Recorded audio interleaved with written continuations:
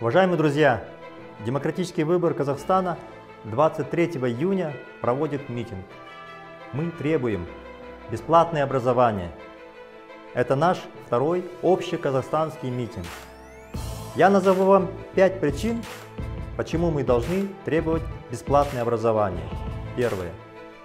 Без образования у народа нет будущего. Второе. Дать равный доступ к образованию – обязанность государства, закрепленная Конституцией. Третье. Казахстан располагает огромными ресурсами для решения этой задачи. Четвертое. Для большинства казахстанцев образование стало неподъемной ношей или полностью недоступно. Пятое. Практически в каждой семье есть дети.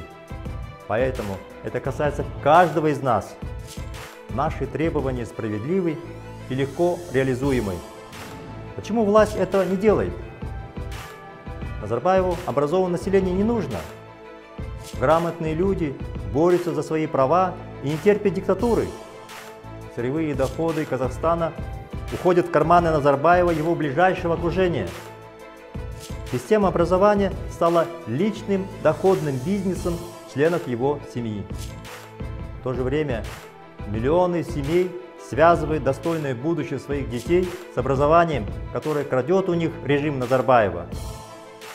23 июня демократический выбор Казахстана выходит на митинг с требованиями бесплатного образования.